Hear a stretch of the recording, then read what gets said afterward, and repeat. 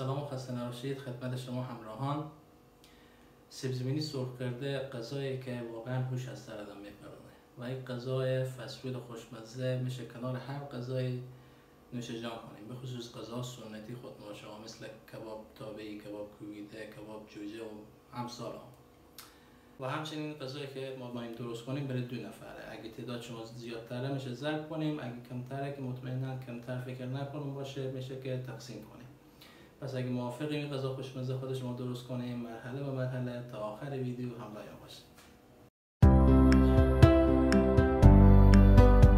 علیرضا محسنیوم به کانال آجام شیف خوش آمدیم اگه تا حال سابسکرایب نکردین حتما سابسکرایب کنیم و علامه زنگولر فعال کنیم که هر وقت ویدیو جدیدی منتشر میشه بتونیم به زودترین فرصت مشاهده کنیم پس بریم که خود شما غذا کنیم.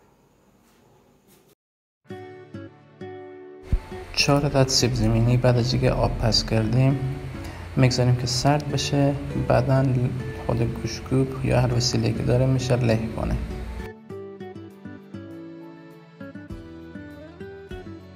بعد از اینکه سیب زمینی ما له شد هفت قاشق غذاخوری کانفلور علاوه می‌کنیم و خوب مکس می‌کنیم و همچنین یک قاشق چایخوری نمک.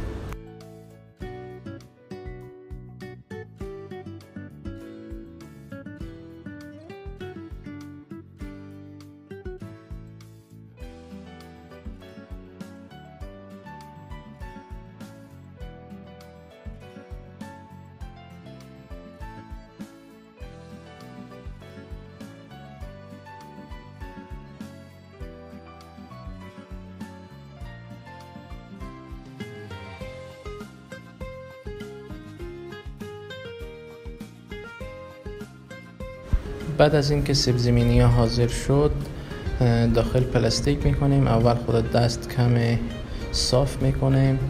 همه گوشه های بگیره. بعد از او خود وردنه یا همون چوچه که به اصطلاح خود ما شما خوب صاف می‌کنیم.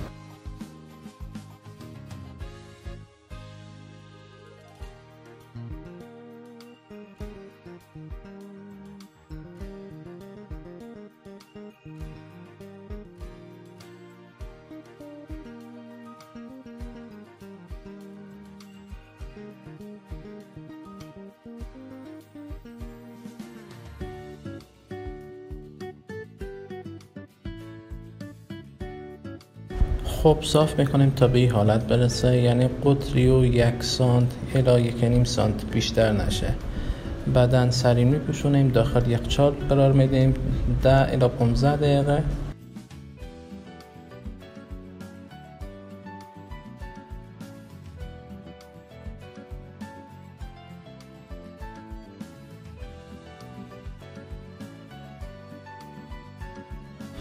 بعد از اینکه از داخل یخچال کشیدین پلاستیکی رو از وسط دو جا می‌کنیم و مواد سیب زمینی خور از وسط دو جا می‌کنیم. میشه که شما از وسط دو جا نکنیم و همینطور بلند بلند برش زنیم.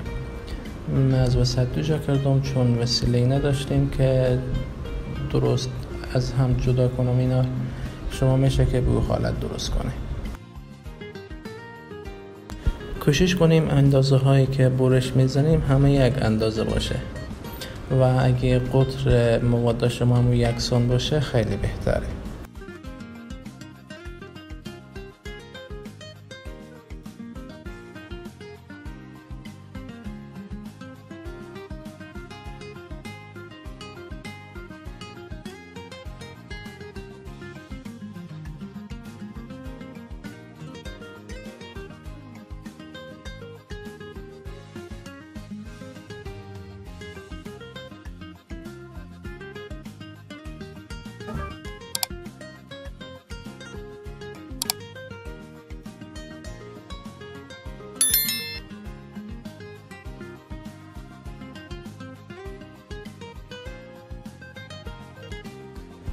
بعد از اینکه چپس های خوشمزه ما سرخ شد بالا یک کاغذی که کاغذ دستمالی که بتونه روغنی و جذب کنه قرار میدیم که روغنی و کشیده شه.